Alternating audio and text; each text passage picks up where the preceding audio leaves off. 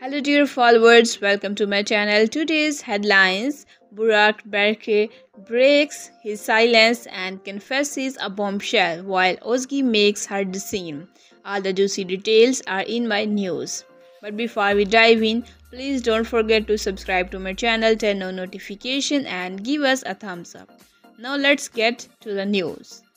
The love story between Burak Berkay and Özge Yağız which began on the sets of the TV series Sapphire has been making headlines in the tabloids, sparking all sorts of speculations. However, Burak Berkay has finally spoken up and put those rumors to rest.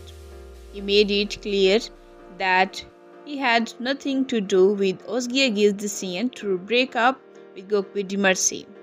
Burak emphasized that Özge's decision to leave Gökberk was entirely her own. He said, This is completely Özge's decision. Leaving Gökberk is Özge's own choice. So, as of now, their relationship is not the reason for the split. This statement caused quite a stir in the gossip magazines, shedding new light on the love rumors. The relationship between the stars of Sapphire, Burak, And Özge Yağız seems clearer now.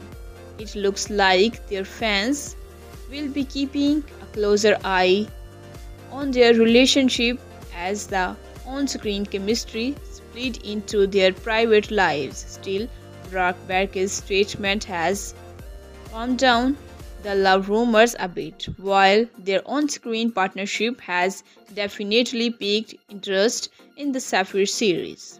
It's now a matter of curiosity how their fans will react to this news. The world of tabloids magazine continued to buzz